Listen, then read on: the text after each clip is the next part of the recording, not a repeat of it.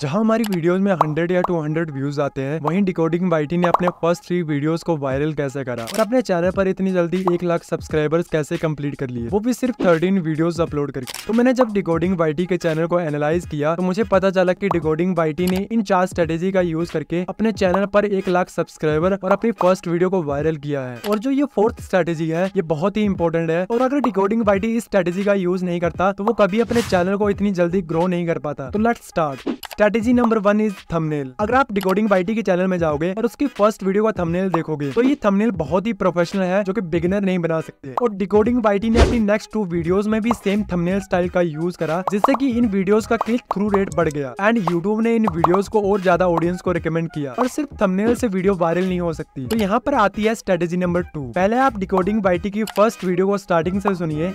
How to grow on YouTube इस पर तो वीडियोस बहुत सारे क्रिएटर्स बनाते हैं ना। फिर एलग्रो इतना सक्सेसफुल क्यों है?